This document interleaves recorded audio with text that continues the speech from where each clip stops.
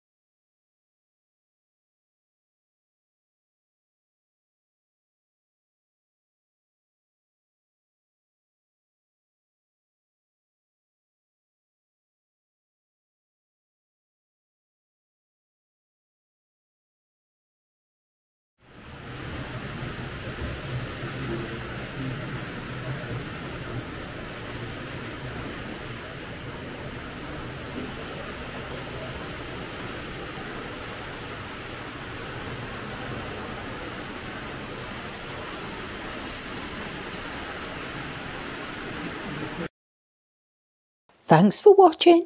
Please like, share and subscribe.